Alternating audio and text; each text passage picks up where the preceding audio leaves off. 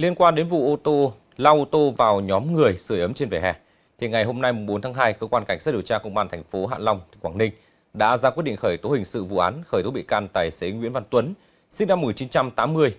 để điều tra làm rõ về hành vi giết người.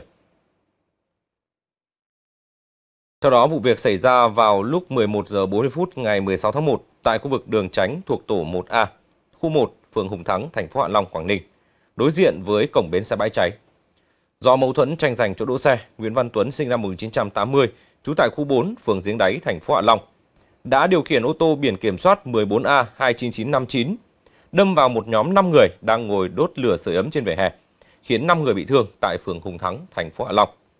Ngay sau vụ việc, Tuấn để lại ô tô rồi rồi bỏ trốn khỏi hiện trường. Ngày 17 tháng 1, công an của thành phố Hạ Long đã tạm giữ Nguyễn Văn Tuấn để điều tra, làm rõ, hoàn thiện hồ sơ, xử lý theo quy định của pháp luật.